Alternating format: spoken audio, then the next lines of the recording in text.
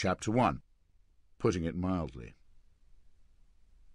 If the intended reader of this book should want to go beyond disagreement with its author and try to identify the sins and deformities that animated him to write it, and I have certainly noticed that those who publicly affirm charity and compassion and forgiveness are often inclined to take this course, then he or she will not just be quarrelling with the unknowable and ineffable Creator who, presumably, opted to make me this way. They will be defiling the memory of a good, sincere, simple woman, of stable and decent faith, named Mrs. Jean Watts. It was Mrs. Watts's task, when I was a boy of about nine, and attending a school on the edge of Dartmoor in southwestern England, to instruct me in lessons about nature, and also about Scripture.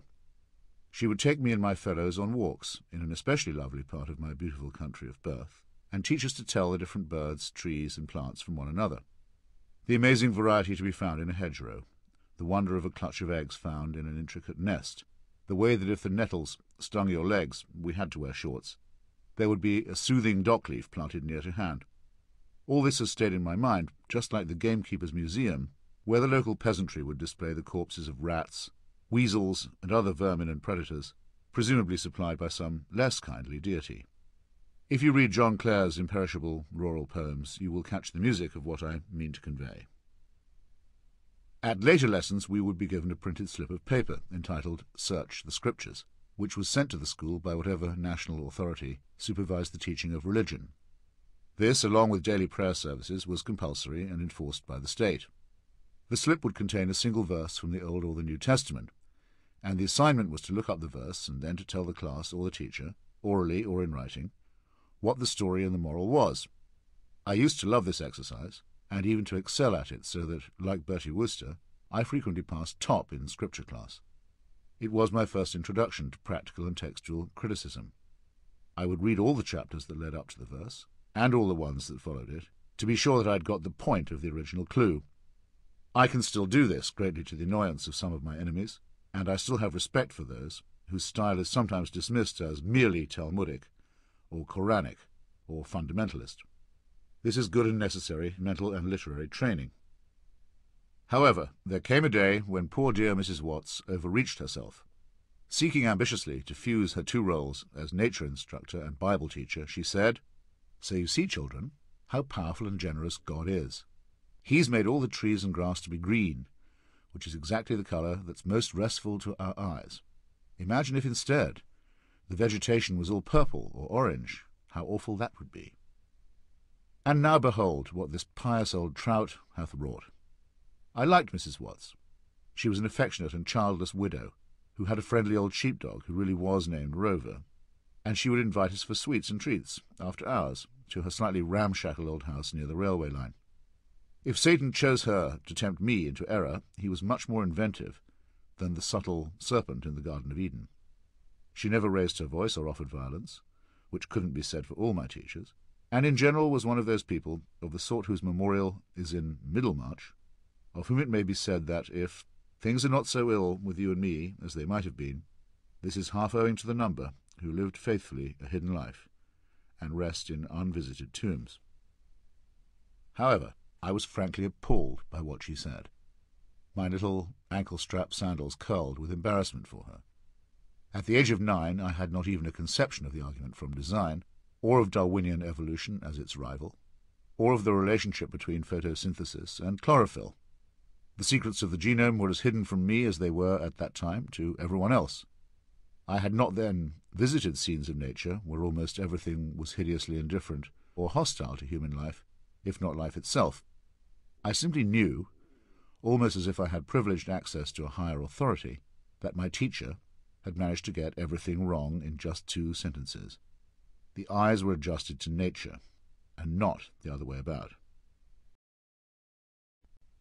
I must not pretend to remember everything perfectly or in order after this epiphany, but in a fairly short time I had also begun to notice other oddities. Why, if God was the creator of all things, were we supposed to praise him so incessantly for doing what came to him naturally? This seemed servile, apart from anything else. If Jesus could heal a blind person he happened to meet, then why not heal blindness? What was so wonderful about his casting out devils, so that the devils would enter a herd of pigs instead? That seemed sinister, more like black magic. With all this continual prayer, why no result? Why did I have to keep saying, in public, that I was a miserable sinner? Why was the subject of sex considered so toxic?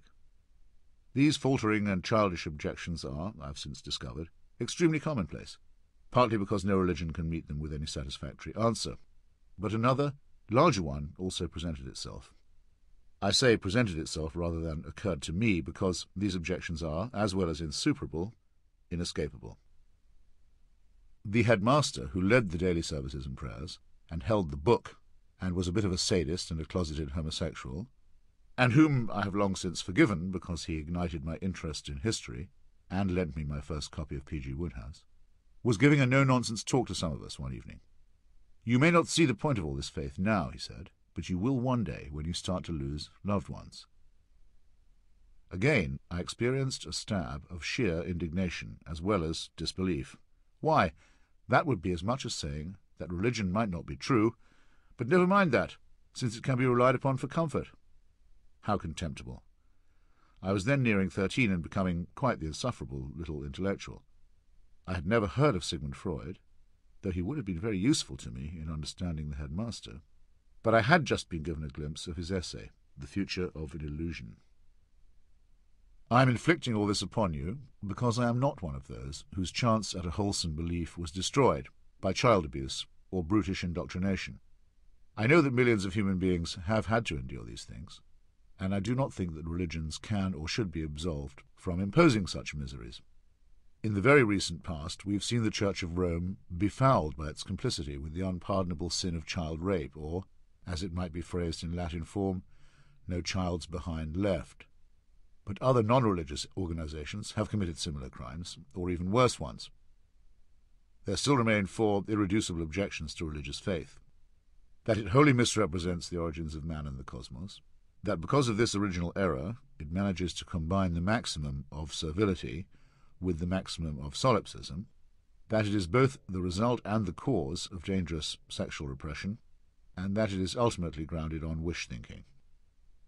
I do not think it is arrogant of me to claim that I had already discovered these four objections, as well as noticed the more vulgar and obvious fact that religion is used by those in temporal charge to invest themselves with authority, before my boyish voice had broken. I am morally certain that millions of other people came to very similar conclusions in very much the same way. And I have since met such people in hundreds of places and in dozens of different countries. Many of them never believed, and many of them abandoned faith after a difficult struggle. Some of them had blinding moments of unconviction that were every bit as instantaneous, though perhaps less epileptic and apocalyptic, and later more rationally and more morally justified, than Saul of Tarsus on the Damascene road. And here is the point about myself and my co-thinkers. Our belief is not a belief. Our principles are not a faith. We do not rely solely upon science and reason, because these are necessary rather than sufficient factors, but we distrust anything that contradicts science or outrages reason. We may differ on many things, but what we respect is free inquiry, open-mindedness, and the pursuit of ideas for their own sake. We do not hold our convictions dogmatically. The disagreement between Professor Stephen Jay Gould and Professor Richard Dawkins concerning punctuated evolution and the unfilled gaps in post-Darwinian theory is quite wide, as well as quite deep. But we shall resolve it by evidence and reasoning, and not by mutual excommunication. My own annoyance at Professors Dawkins and Daniel Dennett for their cringe-making proposal that atheists should conceitedly nominate themselves to be called brights is a part of a continuous argument. We are not immune to the lure of wonder and mystery and awe. We have music and art and literature, and find that the serious ethical dilemmas are better handled by Shakespeare and Tolstoy, and Schiller and Dostoevsky and George Eliot than in the mythical morality tales of the holy books. Literature, not scripture, sustains the mind and, since there is no other metaphor, also the soul. We do not believe in heaven or hell, yet no statistic will ever find that without these blandishments and threats we commit more crimes of greed or violence than the faithful. In fact, if a proper statistical inquiry could ever be made, I'm sure the evidence would be the other way. We are reconciled to living only once, except through our children, for whom we are perfectly happy to notice that we must make way and room.